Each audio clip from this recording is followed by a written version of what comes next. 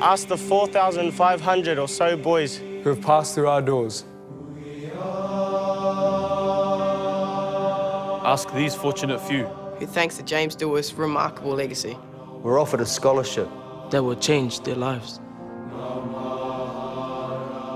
Ask the families whose lives have also been transformed. Knowing that their boy has a chance at a better future. And ask the mothers who gave up their young sons so that they could have a lifetime of possibility. They'll tell you it's a magical place.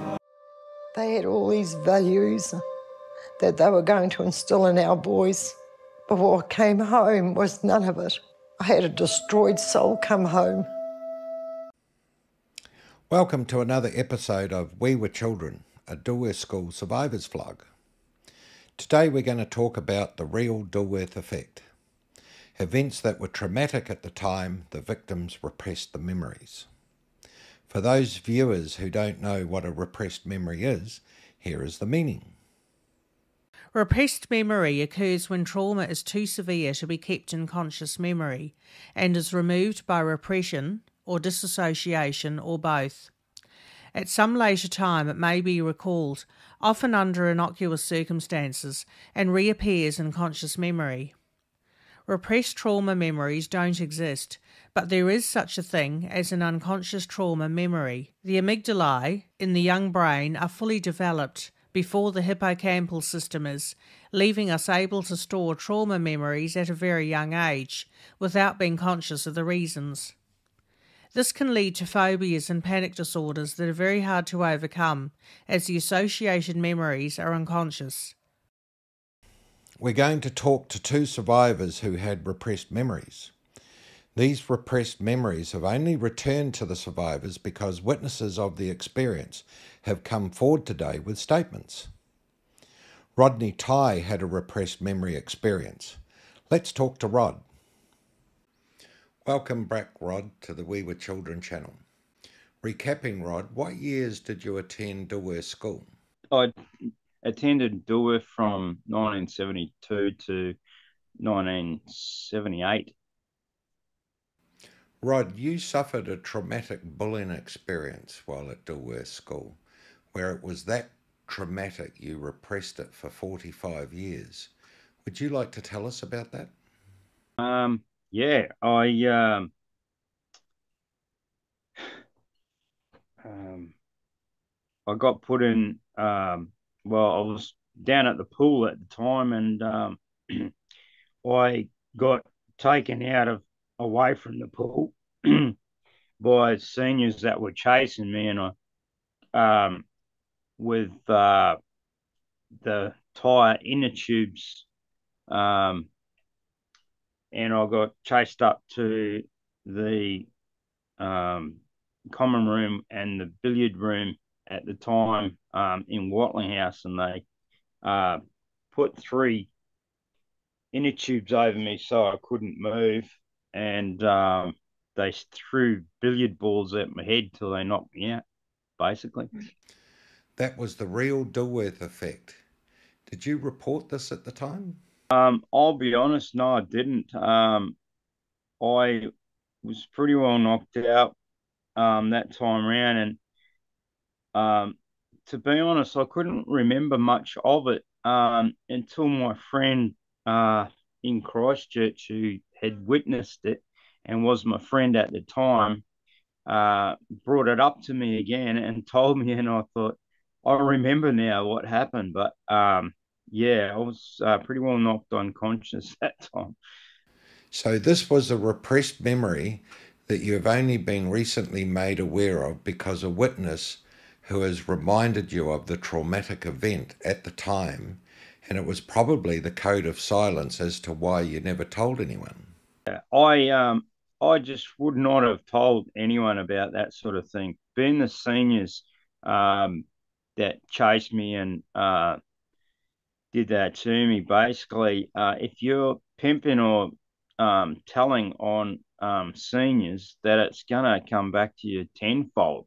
Um, yeah. I I thought that that'd be like uh, the very least I would have got if I'd um, tried to tell on them in any way or or tell on them through tutors and uh, for them to track them down and cane them maybe or something they would have got me behind the scenes so many times. So you just yeah. let, used to let that sort of thing go unfortunately.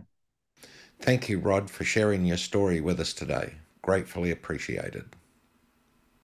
The other survivor with a repressed experience is myself. After i told my own survivor account in episode 1 a formal student sent me a message. This is what they had to say. Hi, Greg. I just saw your We Were Children story. Great job setting it up, and your story was compelling. I was at Dilworth about when you were and remember you quite well. I have a memory of all of us boys in a dorm room one night and the senior who hit you, Big Mac. His little brother was walking around bawling loudly, couldn't calm him down. Peter Dignan got us all to sit down in the dorm and was asking what was wrong. We didn't know.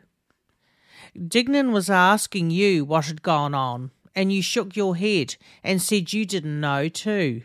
So in comes Big Brother, sits down, watching him cry, and he was getting upset, angry, and embarrassed. This went on for ten minutes until little bro said something about being a Maori and looked at you. That's when Dignan saw Big Mac's face and stood up to calm him down. But he just exploded out of the blue, pushed past Dignan, knocking him over, and dived on you and just went mental with massive punches to your head. He was screaming at you.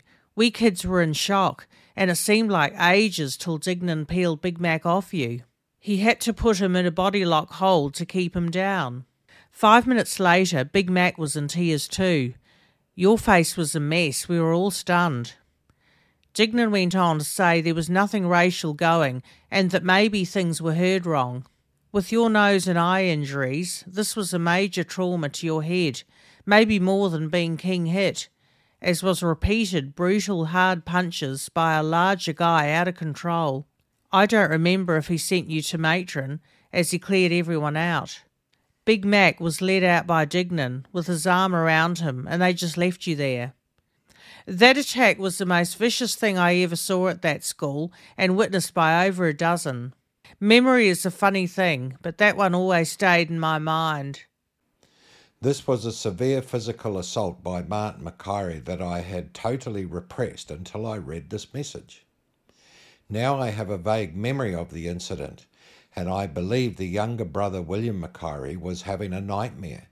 And when he came around with everyone standing around him, he was embarrassed and he then implied I had something to do with it, causing his big brother Mac, Martin McKyrie, to severely assault me. Let me just say the force of his anger of being able to knock over Peter Dignan, who was six foot three inches tall and weighed 90 kilos at the time. He was also an Olympic rower who won bronze in the Montreal Olympic Games. This was some feat. It shows he lost it and was totally out of control with rage. This severe physical assault on me by a guy twice my size is beyond comprehension. Let me finish this episode with a bit more of the Dilworth Effect promotional video. With tears in their eyes, heads held high. And that is the Dilworth Effect and as more than 4,500 good men will tell you. It's worth it.